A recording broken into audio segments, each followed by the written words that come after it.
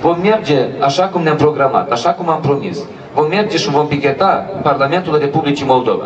Dar, întrucât acolo deja sunt instalate corturi, corturi în care stau cetățenii Republicii Moldova, de ce ar trebui să mai instalăm alte corturi? Sunt instalate corturile cele. Regretabil este că anumiți lideri politici încearcă să scoată dividende politice din aceste activități. Regretabil, dar e, judecătorul suprem va fi totuși poporul, iar noi nu avem